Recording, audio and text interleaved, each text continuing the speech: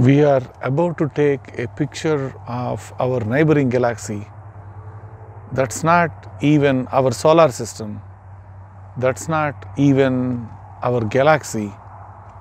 It's one of those galaxies that is close to us in astronomical terms, 10 million light years away from us.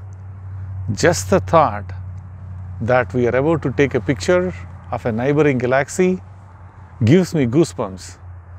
And that galaxy is home to a supernova like at least once every 10 years. And there are several stars. They are, they are, they are being born.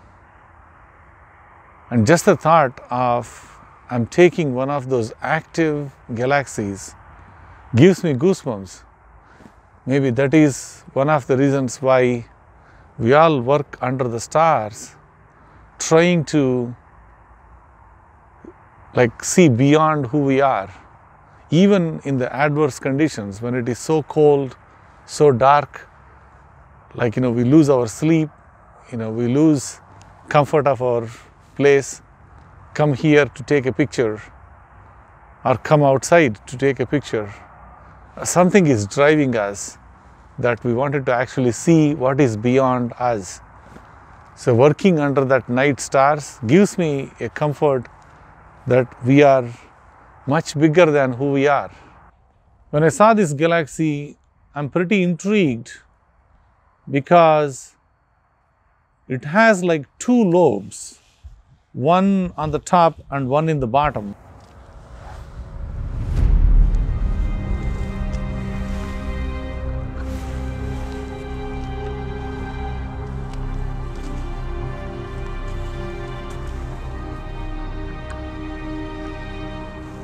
Did you hear the term Council of the Giants?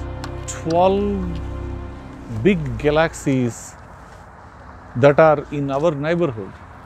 Like ours is Milky Way galaxy, right?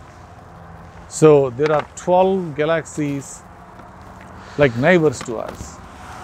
They are not that close. They are like anywhere between 10 million light years or 20 million light years away, somewhere between 10 and 20. So the galaxy that I wanted to take a picture of is around 12 million light years away from us. It takes light to travel 12 million years to get here. It is the closest galaxy from the Earth where we actually saw the type 1 supernova like starburst. So it is also called as starburst galaxy and the black hole in the galaxy is a supergiant black hole. It's almost like like 8 times the size of the Milky Way's black hole and million times bigger than sun, the black hole itself, the mass. The mystery doesn't end there. There is a radio signal, like a mysterious radio signal. We are still recording it from this galaxy.